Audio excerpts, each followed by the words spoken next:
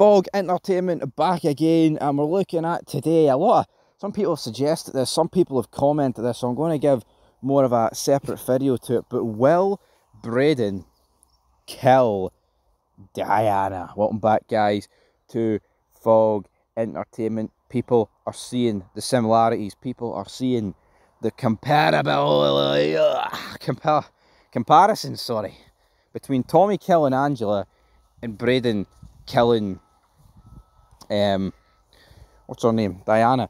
Now, of course, it was actually referenced in the episode, the, the latest one, by the new like connect that Brayden and uh, Tariq are going to use. Like, hey man, you even found yourself a little white bitch like your daddy did.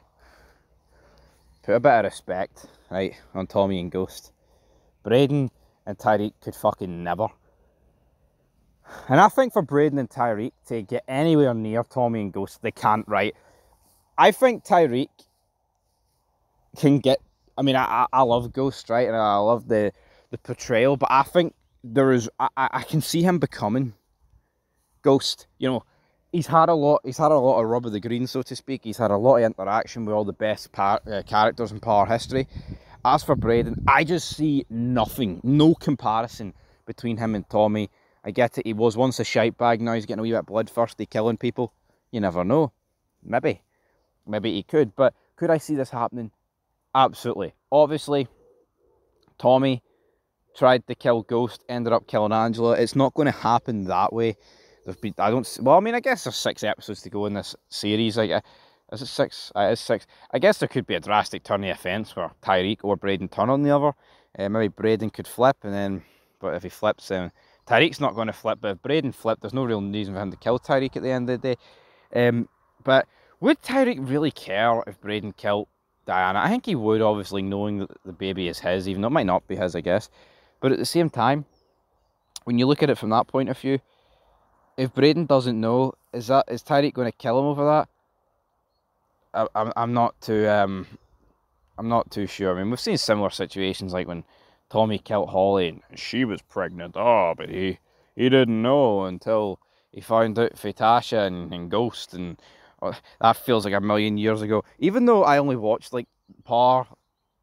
I when did I finish the original Par? It was about December.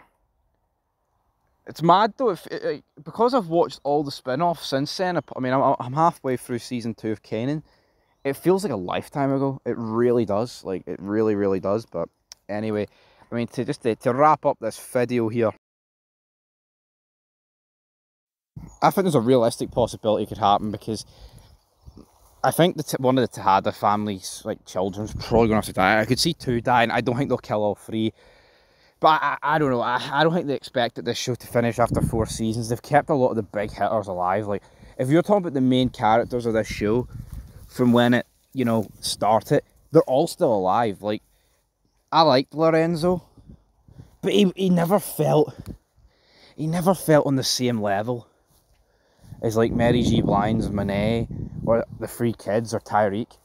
I think this show's main characters are Davis, Tariq Brayden, and the four remaining members of the Tejada family. That that's it to me.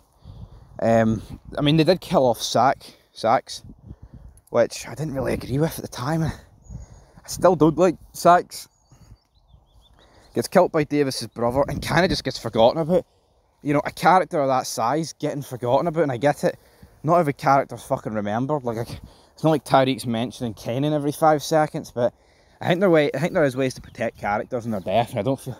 I guess Saxe he's, he's left those like USB in the, the letters, so maybe I was a wee bit judgmental there. But fuck it, I'm going to predict Brayden is going to kill Diana.